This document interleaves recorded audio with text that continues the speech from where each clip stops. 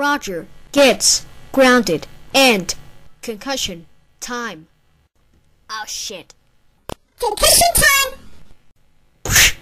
Enjoy the show.